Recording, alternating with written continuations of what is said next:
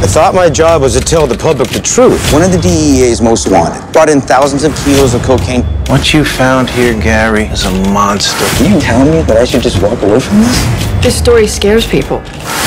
Well, it should.